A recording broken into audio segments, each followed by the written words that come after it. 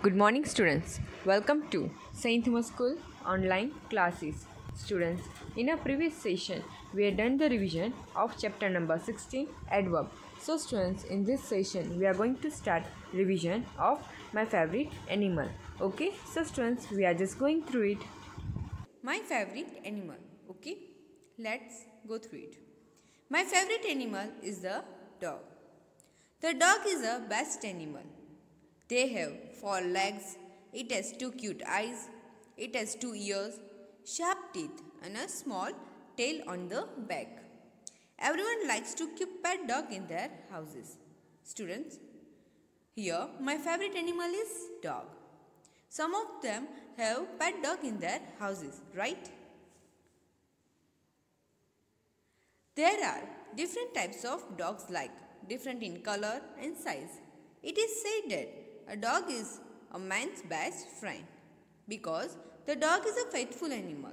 It has sharp mind and a strong sense of hearing and smelling the thing. Student, there are different types of dog like different in color and size. It is said that a dog is a man's best friend because the dog is a faithful animal. So, anyone can trust on dog. It has a sharp mind and a strong sense of hearing and smelling the things. Okay. Now, last one. Dogs are rear guards of the houses.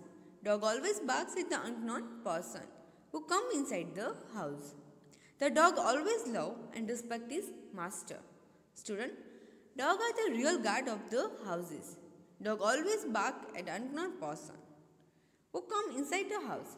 The dog always love and respect his master. Okay? Student, I am going to read this again. Okay? My favorite animal is the dog. The dog is the best animal. They have four legs. It has two cute eyes. It has two ears, sharp teeth, and a small tail on the back. Everyone likes to keep pet dog in their houses. Okay? There are different types of dogs like different in color and size. It is said that a dog is a man's best friend because the dog is a faithful animal. It has sharp mind and a strong sense of hearing and smelling the thing. Student, dog had a sharp mind and a strong sense of hearing and smelling the things. Dogs are rear guards of the houses. Dog always barks at the unknown person who comes inside the house. The dog always love and respect his master. Okay? Students, you have to write this essay in your composition book. Okay?